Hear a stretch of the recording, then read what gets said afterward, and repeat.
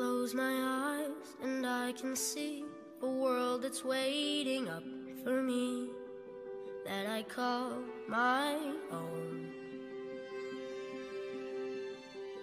Through the dark, through the door, through where no one's been before, but it feels like home.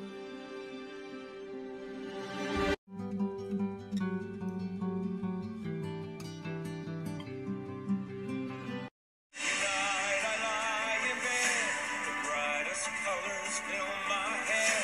A million dreams keeping me awake. I think of what the world could be, a vision of the one I see. A million dreams is all it's gonna take. A million dreams for the world we're gonna You know what I think? I think that all in our private traps, clamped in them, and none of us can ever get out.